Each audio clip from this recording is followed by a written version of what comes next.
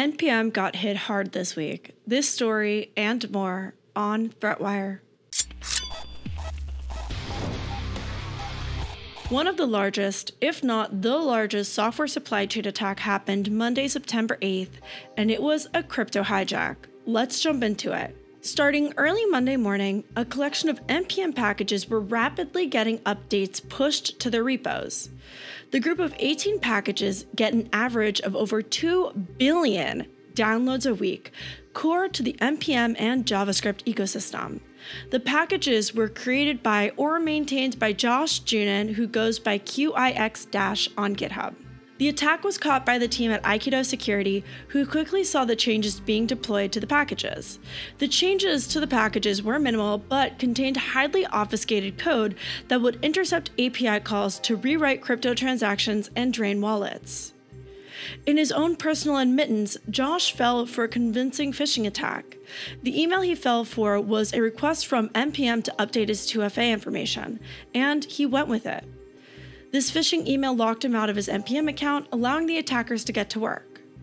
Josh was notified by the team at Aikido and got to work attempting to regain access to his information. As of writing this story, the malicious packages have been removed and updated to remove the code, as well as Josh has regained access to his NPM account.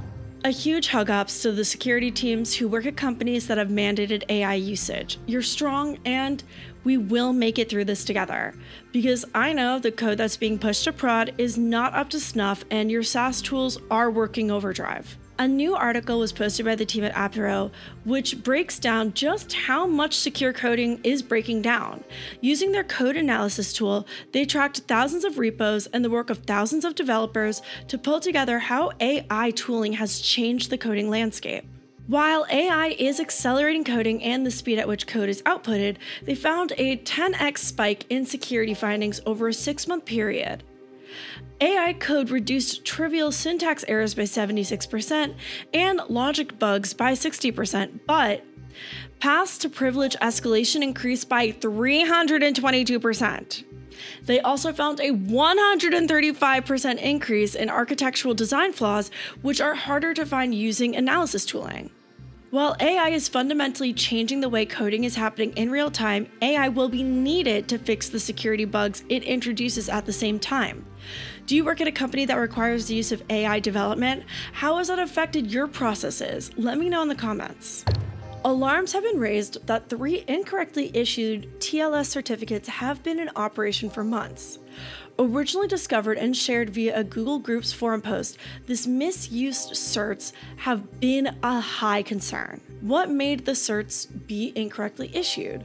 The IP addresses attributed to the certs are 1.1.1.1, an IP address dedicated to the content delivery network run by Cloudflare and the Asia Pacific Network Information Center Internet Registry. Looking through the specs of the TLS certs, it's doubted that the cert owners would have been able to prove ownership or control over the 1.1.1.1 IP address. For context, TLS certs like these are issued by trusted groups and are used by certificate authorities to match to a certain private key to then verify that the certificates are valid. The issue here is that owning the TLS cert means that you can impersonate the registered IP, which, as pointed out, the identifiers doubt were actually controlled by the malicious certificate holders. The malicious certs were issued by the FINA RDC 2020, a certificate authority trusted by the Microsoft Root Certificate Program. While being trusted as a CA by Microsoft for Edge, this CA was not trusted by Chrome, Firefox, or Safari. For context, Edge accounts for 5% of all internet browsers. As of writing this story, two of the three certs are still valid, but Microsoft has made a statement that they are working towards blocking the malicious certificates. Thank you so much for watching ThreatWire for the week of September 8th, 2025. If you enjoyed this show, please head over to patreon.com slash ThreatWire. If you want to find me online, you can find me everywhere at Ending with Ali. Thank you so much for watching, and as per usual, good luck, have fun, and don't get caught.